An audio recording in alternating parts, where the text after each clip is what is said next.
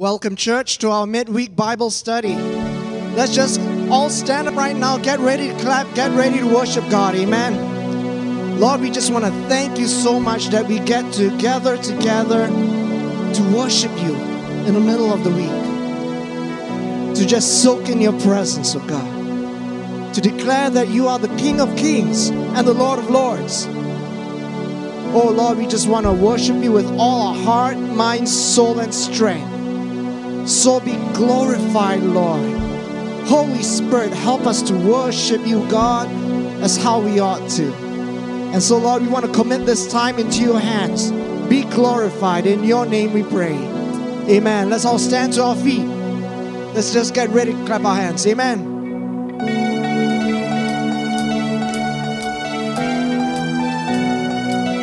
God has done great things and He's continuing to do great things. If you believe it, say aloud, Amen. Praise you, God.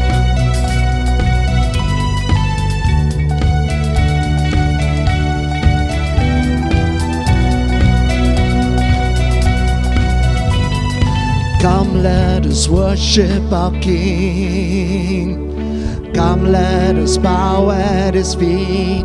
He has done great things. Do you believe it, church?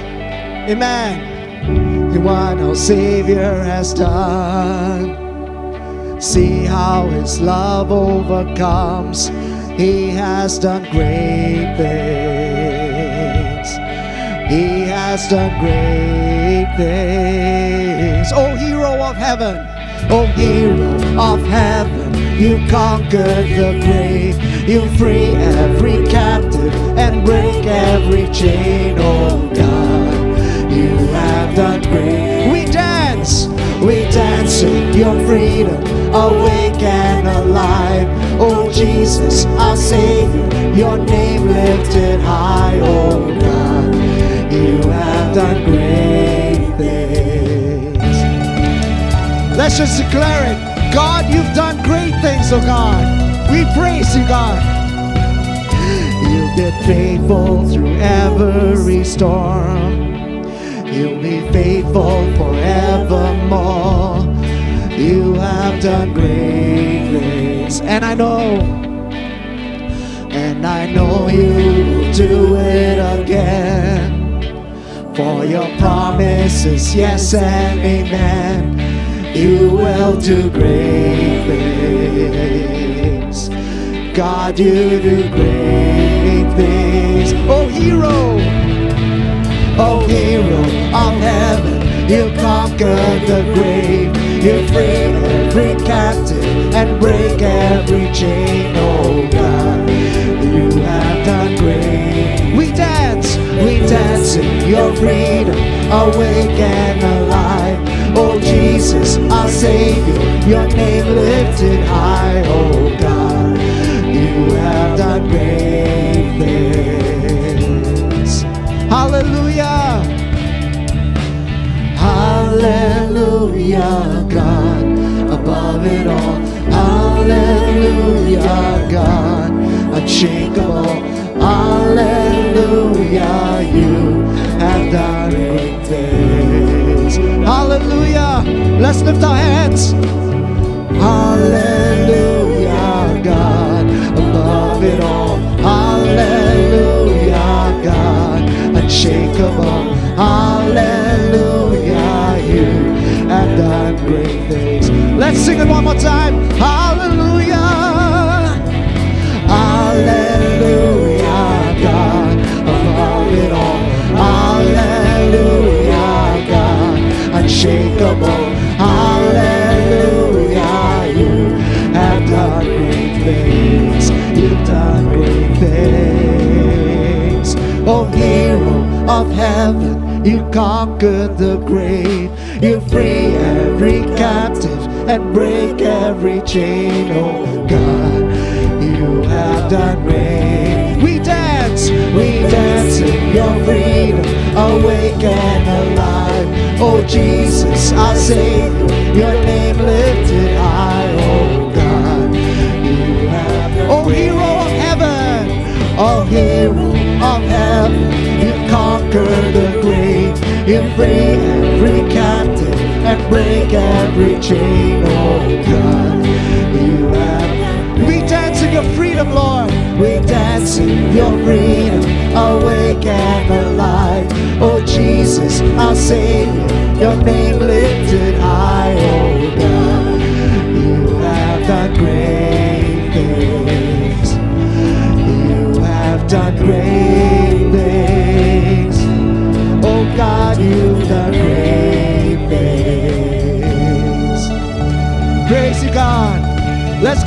praise this morning. Thank you, God. You've done great things, oh Lord, in our lives.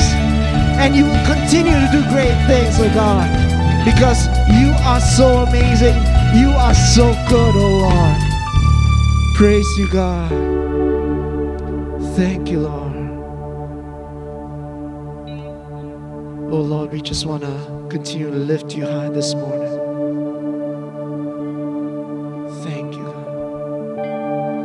We surrender our lives to you, oh God.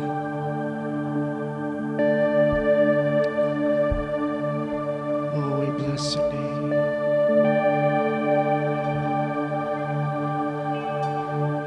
Cause I know that you're alive. You came to fix my broken life, and I sing to glorify your holy name. Jesus Christ. Let's sing it again, church. Cause I know that you're alive. You came to fix my broken life. Let's just give it all to Him. And I sing to glorify your holy name.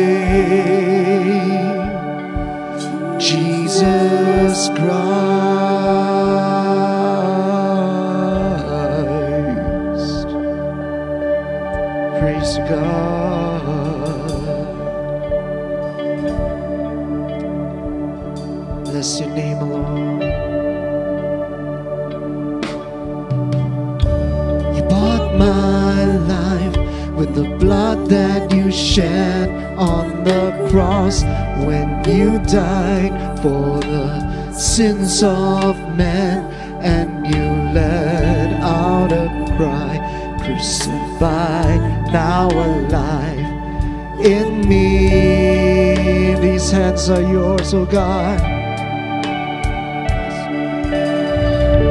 These hands are yours. Teach them to serve as you please. And I'll reach out, desperate to see all the greatness of God. May my soul rest assured in you. I'll never be the same because of you, God. I'll never be the same. Never be the same. Cause I know that you're alive. You came to fix my broken life. And I say to glorify your holy name. Jesus, let's sing it again, oh church. Cause I know that you're alive. You came to fix my broken life. And I sing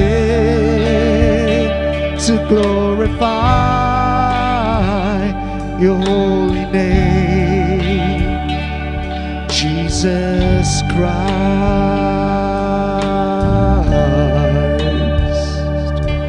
Oh, let your presence fall in this place. Yes, Lord. Worship you, Lord. The fire fall down, fire fall down on us, we pray. We seek fire fall down, fire fall down on us, we pray. Cause I know that you're alive.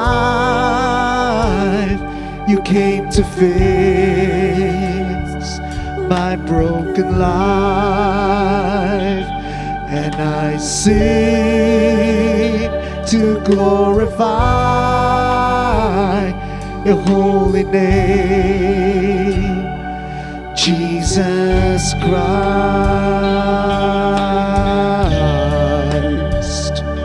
Thank you, Lord.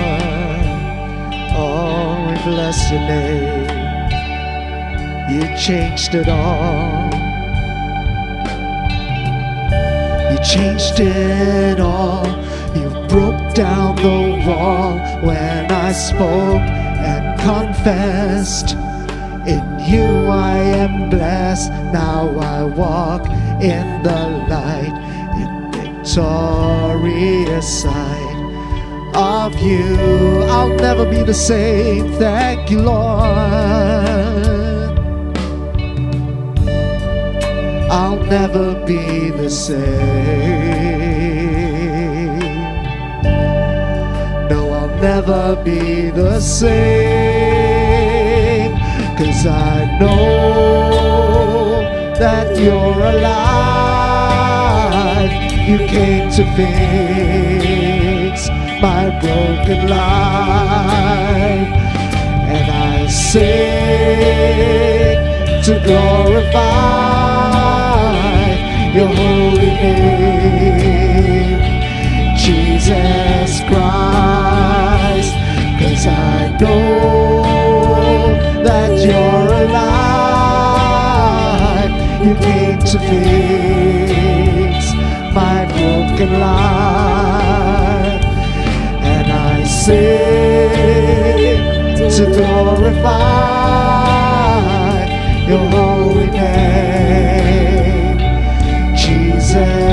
Christ.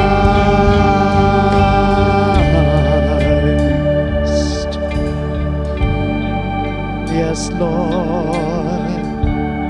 Thank you for fixing us. Thank you for saving us. A fire fall down, fire fall down on us, we pray. As we seek your fire fall down, your fire fall down on us, we pray. Fire as we seek your fire fall down, fire fall down on us, we pray. As we seek fire fall down, fire fall down on us, we pray. Let's cry out to the Lord as we seek fire fall down, fire fall down on us, we pray. As we seek fire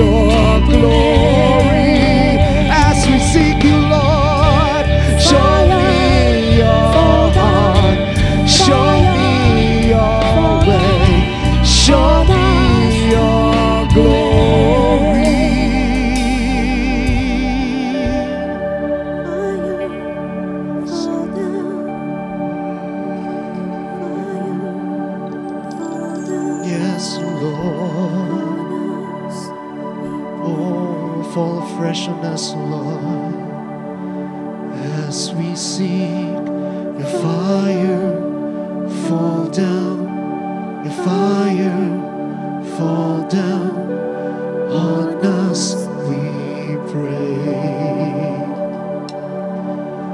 As we seek your fire, fall down, fire,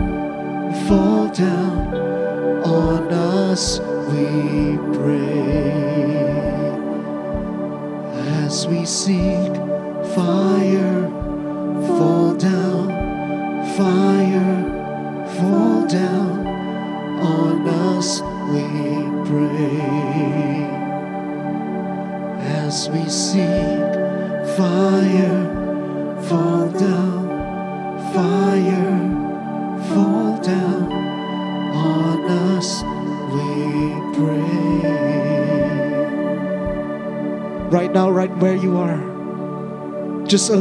Holy Spirit to just speak into your life, to just flood your very life as we surrender more and more of ourselves to Him.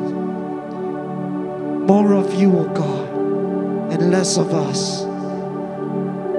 More of you, O Lord, less of us. Oh Lord, we surrender ourselves to you today. Speak to us in such a great and powerful way through the word today, Lord. We give you praise, we give you honor, we give you all the glory. And all of God's people said, Amen. God bless you. This is bow our heads as we ask the Lord to bless the word. Father, we thank you for your word, which is life and light to us. We pray for more wisdom, more strength, for grace in Jesus' name. Amen. Part 14 in our series, Practical Wisdom for Purposeful Living. We are right now in chapter 17 in the book of Proverbs. And it begins with this saying, Better is a dry morsel with quietness than a house full of feasting with strife. A wise servant will rule over a son who causes shame and will share inheritance among the brothers. I'm going to go straight to the first point there. That strong families are built on unshakable foundations. And we're talking about firm family foundations that we want to build. Um, and all strong families are built on some kind of uh, value system, some kind of foundation. It doesn't just happen like many things in life. Um, in Proverbs 17, verse 6, it says, Children's children are the crown of old men, and the glory of children is their father. And so there's some kind of basis there. We find that, you know, uh, you don't just have a, a great uh, family, you don't just produce great generation upon generation of people. Um, you build them on something, and, and it is built on uh, all the good uh, values, all the good wisdom and words that um, God has given us. In many ways, you can pick your friends, but you don't choose your family. You are born into the family. Your brother is your brother for life, and your parents are your parents, whether you you have uh, you like them or not. So you don't you don't pick your family. But if you want a strong family, you have to invest. You can you can make it work. You can pick. You can choose what will be the outcome. Although you cannot choose who your family members are, and uh, but you have to invest in it. You have to put work into it. You have to to develop some strong uh, values on which you want your family to grow up with so that you can build it around those things. So, a strong marriage is the foundation of a strong family. Every strong family has some uh, beginnings, and it, it begins with uh, two uh, coming together to become that one special family. And in Proverbs 18:22 it says, "He who finds a wife or he who finds a husband's husband, um, whichever way you put it, finds what is good and receives favor from the Lord." And um, not just finding a good wife or a good husband, but finding the one that God has uh, for you and building on that relationship. So every strong marriage has some kind of foundations that they built on. And um, so a, a, church is only as strong as its marriages and its families because the church is comprised of sum total of family groups that come together. And um, so depending on whether the marriages are strong, uh, the families are strong, that then the church uh, builds on top of that uh, pillar and those are the foundations of the church. And faith is very important. Uh, faith contributes to strong marriages, and healthy marriages are the basis of a vibrant and robust church. After all, the church is considered the body of Christ. In that sense, it's like a family, it's an extended family. So it begins with the core family groups in the church, and then it branches out into the extended family. And much of it is built on, on the love of God not just human love, not just filial love, not just uh, uh, other kinds of love that is fleeting, but the unconditional, unchangeable love of God, agape love. And 1 Corinthians 13 talks about that kind of love. That love is patient and kind. Love is not jealous or boastful. It is not arrogant or rude. Love does not insist on its own way. Love bears all things, believes all things, hopes all things, endures all things and love never ends. And so, if you build it on, on that foundation of love, you find that it is something that will endure all things. Uh, it is not fickle, it is founded on, on fact, it is founded on unconditional love that never ends. So, um, if you want a strong family, if you want a strong church, then begin to build it on those never changing and uh, ever uh, enduring um, faithful value based on love. So we want to discuss from this first portion of the uh, question here to discuss the phrase broken marriages lead to broken homes. You know, in, in what ways does that happen? And perhaps share what you see around you in society. So, what part does the church play in bringing healing, bringing restoration to broken relationships and homes? I mean, if there uh, interrelated. If, if one leads to the other, one lends to the other, then, you know, what part does the church, what part does, does each one of us have in terms of bringing healing to the other marriages and families in our church? Think about that, discuss it, and pray um, for those different needs. Um, then moving on to point B, um, even as we look at firm family foundations as much as uh, marriages, uh, that are strong would lead to a strong church and uh, strong families. Uh, the, the, father plays a, a, large part, a big part in that family. Fathers as spiritual leaders. Um, um, not much is uh, discussed about this in our ever changing society, and uh, because of the different types of family groups that are being um, you know, pushed in our ever progressive society, the, the church needs to reestablish what is truth. And um, if, if, especially if you want to go back to the biblical basis for strong families. So the father as a spiritual head is so important as a spiritual leader. And scriptures tell us that, um, that the, the, husband is the head, the priest of the home in Ephesians 5, and of course in the Old Testament too, and in the New. So he therefore needs to set the spiritual climate, the temperature in the, in the family. And I want to urge all, all the fathers that are out there to take uh, to step up, not to step back, but to step up. Perhaps you know you've been leading, or perhaps you've not been leading enough. Uh, you know it still can change. You can still take the lead. You can still ask God to give you um, the the wisdom and the the, the, the uh, values and the principles uh, from His Word to be able to lead in your households to establish a, a proper um, order in your home uh, because when there's proper divine order, then you see the blessings of God fall upon the home. It's not about bias, it's not about discrimination, it's just about the roles that God has placed us uh, in, in our homes. So, God fearing fathers need to lead with integrity. They need to lead with integrity. I mean, as a spiritual leader, that's one important fact. And, and that's something that needs to be reestablished. And much of that is lost in our society, lost in, in uh, the governments, lost in politics, lost in every aspect of, of uh, life uh, in our world. And we see that when, when integrity is missing, then you find a lot of other gaps and holes begin to appear. And integrity is so important because it talks about that, that con- consistency and that ability to carry out, uh, to walk the walk and not just talk the talk.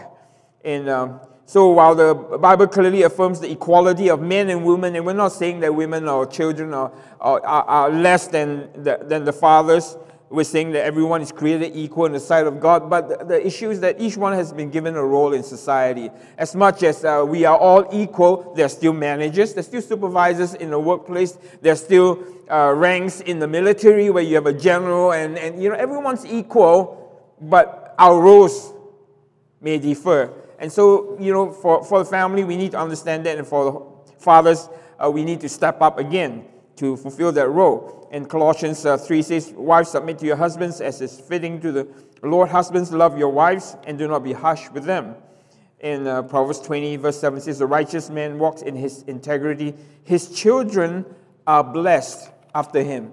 You know, righteousness and integrity, leadership in, in this aspect will create an umbrella of protection. You know, everything that you say, that you do, that you follow the principles that you, you uh, set and you follow and you apply in your life will lay a great foundation, a great pathway for uh, your children, for others to follow behind. That's leadership. Leadership is leading from the front, front is setting the example, is telling them that this is what the Bible says, and then living it out and showing them that it works.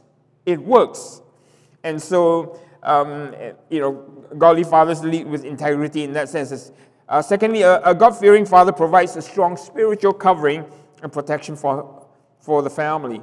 Um, that spiritual covering that you pro- pro- provide because you follow uh, carefully uh, what God has placed before us. Because God knows the uh, pitfalls and, and, and, and the areas that, uh, you know, if we don't follow, we will fail and we will fall in those areas. So as leaders, uh, you know, as fathers uh, of each household, we need to live our lives in such a way that we literally blaze a path, a secure path, and provide not just a shelter over their head, but a spiritual covering and protection. Proverbs 14, verse 26 says, In the fear of the Lord there is strong confidence, and his children will have a place of refuge. His children will have a place of refuge. And um, the home is meant to be a safe, secure place. Uh, the family home is meant to be a place where children can grow up as children and everyone can function securely and fulfill their roles in, in such a way where they are secure and, and they are able to do it confidently. And the head of the household provides that, that climate, that atmosphere, that spirit, you know, in a loving, uh, tender, caring fashion. Like the way that Father God provides for us the protection is, is, is the role of the father. And point three, a loving husband is the best father and role model for their children. I mean, you cannot be a great father if you're not a loving husband. You know, it's not one or the other. And I, I've seen, even as I minister to people, that some are great fathers, but, you know, uh, so-so husbands, and there are some that are great husbands, but they don't want to be a, a great father. And it, it, it, it's not one or the other, it goes together. So it begins with being a loving husband. And, and again, going back to the basis of love um, in, in the family of God, in, in, as the foundation of uh, strength in a home. So, a loving husband is the best father and role model for children. If you love your wife the way that Christ loves the church, and you're willing to sacrifice, you're willing to, to do everything for your wife, then uh, from there it sets, you know, the uh, tone for the rest of the family and for your children. Headship, the home requires unconditional sacrificial love. Of course, Ephesians 5.25 um, confirms that for husbands, this means love your wives just as Christ loved the church. He gave up his life for her. I mean, that's, that's the standard that Christ set for us as the head of the church.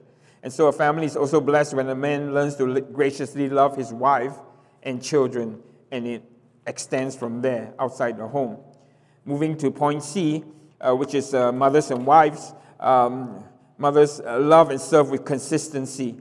Of course, you know, when we ever come across uh, Proverbs 31, verse 28, um, it tells us about how the children will rise up and call the mother blessed, her husband also, he praises her. I mean, it's a tough uh, act to follow if you want to look at Proverbs 31, but it is talking about principles. It's not just talking about that, that you know, if, if you're not that, this person, if you're not doing all those things, then you are not um, the kind of mother or wife that you're meant to be. But it's the principle of, of that, uh, that's taught in, in Proverbs 31. Uh, it's talking about two roles for the woman but one person. There are two roles, again, being the mother and, and being the wife. And, and it's a tough uh, uh, part. You know, part is trying to balance the two roles, especially in, in, in this modern and tough economic reality where in most uh, homes, both parents have to go out to work just to be able to provide a shelter over their head and food on the table and proper education and, you know, for the children. And so, uh, you know, husbands need to, uh, again, understand that though their role may be the head of the house, the leader, the spiritual leader, that, you know, again, you know, it is this aspect of loving and caring and providing the best for the wife, for the family. And likewise, the, the, the wife. So their roles were, would, would uh, uh, although they are defined as, you know, submission, as leadership, but in terms of providing for the care and for the family, you know, they need to be uh, considerate and they need to just be able to, to be flexible in how they uh, fill in for one another in those aspects. So when we talk about the mothers, that they first they need to be the loving wife. Um, the family is blessed when the wife is a woman of prayer, caring, and a woman of character, one who is always available, willing to sacrifice, and uh, of course, you know, again, all the, all the qualities are there in Proverbs 31. You can go read it and discuss some of the challenges of uh, Proverbs 31. And the greatest calling of the wife is to be a partner and co laborer in the home, in the family. To the husband, to be a best partner, to be the best co laborer. You know, you are, are called to be one. You know, when you, when you say I do, you're no longer just you know, an, a, a, a minor partner, you are a co-laborer. You, you are part of that with the equal uh, rights and equal uh, responsibility, and more than anything else, the equal calling of God upon your lives. So, a loving wife is the first uh, role, of course, then the caring mother. Um, again, a reminder to us that children are a gift from the Lord. And as a caring mother, um, you know, often there are periods where you are test, tested and you are stretched to a degree where you feel like they're more a burden than a blessing. And, and it's a good reminder to us that uh, children are a blessing not just when they behave well, they're a blessing to parents too because they stretch us, they, they grow us. They help us come to a place in our life where we realize that we cannot afford to be children anymore. We are adults and we have to grow into that role. And so, in that sense, you know, when I look at it from that point of view, I see that it's such a great blessing because I had children very early. Um, you know, we got married within a year, we had children, and, and um, it helped me grow more than anything else because all of a sudden I, I, I couldn't just look after myself and my wife. I couldn't just think about my own need. I have to consider them. And, uh, no longer can you be selfish. You have to be selfless. Everything you have to think about, you know, the others. And that helps you to, pre- that helps to prepare you for the ministry, to help to prepare you to be a greater contributor and giver to the community around you, to the church, to, to your friends, to the people that need that out there. And it begins there. So, in that sense, I see it as a great blessing. So, we move to the discussion question discuss some of the wrong trends that contribute to broken marriages. What are some of the trends that um, are actually stressing uh, marriages and families, and the confused roles in the home that has created that problem? So, suggest three habits that you can develop that perhaps can strengthen your marriage or other people's marriage. Three habits that are great in the Bible that we can follow. And then finally, children. Children are a blessing, and children when they're young, when they're not an adult yet, the Bible teaches us to submit to their parents. Uh, again, children are meant to be a blessing and not a burden. And so I would challenge all parents to begin training them when they're young, uh, teaching them what it means to submit, teaching them God's method of protection and the way things work in real life, especially when it comes to this aspect of uh, learning to submit to authorities. So in uh, Psalm 127, verse 3 says, Behold, children are a heritage from the Lord. The fruit of the womb is a reward. It says a heritage. I mean, that's your heritage. That's, that's your legacy, you know. So you determine what your legacy is through your children by how you raise them, um, your attitude towards um, raising your children, loving them. Uh, children brought up in the fear of the Lord will be blessed by the Lord, and they will be a blessing to their families in return. I mean, there's different philosophies in our world. I find that there's a distinct difference between the Western and Eastern philosophy. In the Eastern philosophy, a lot of people raise their kids and their, their, their mindset and philosophy is that when I'm old, you know, if I, if I invest in them, then when I'm old, my children will take care of me. Whereas in the Western philosophy, they're like, you know, 18, you're out, you know, I put enough, you're on your own. And uh, there's no thought of, yeah, my children have to come back and, and take care of me. I mean, you know, there are different ways of looking at it. But in, in, in many ways, when we look at the biblical principle, the, the issue is learning to come to this place where we put our best into our children, we invest in them. And whether or not they can come back later in our lives to, to take care of us financially or our old age, that's, that's a different matter. The, the, the key is that they will become a blessing in the society around them. Um, so in, in Psalm 127, verse 4, it says, like arrows in the hand of a warrior, so are the ch- children of one's youth.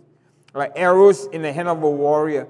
I mean, again, you know, arrows are only uh, implements and tools of a warrior. It depends on how you wield it, it depends how you prepare it, it depends on how and, and, and what application you put it in your life. So it involves training, it involves all these different aspects of preparation and likewise for your children, the amount of time you put into it, the amount of love you invest, the amount of, you know, um, your sacrifices that you make will uh, see the returns. You know, what you sow, you shall reap. Likewise in your children. So, um, you know, if you, if you set the right example, bless them, love them, lead them, uh, they will be a blessing all the days of your life.